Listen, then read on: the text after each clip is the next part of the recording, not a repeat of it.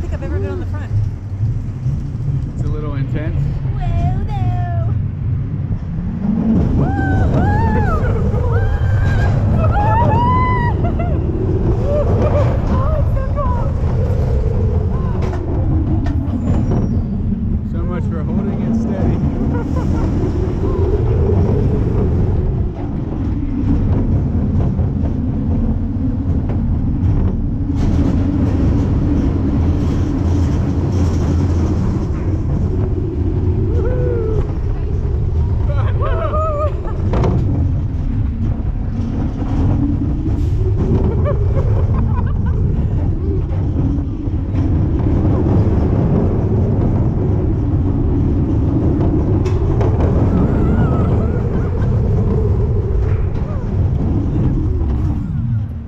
GoPro, stop recording.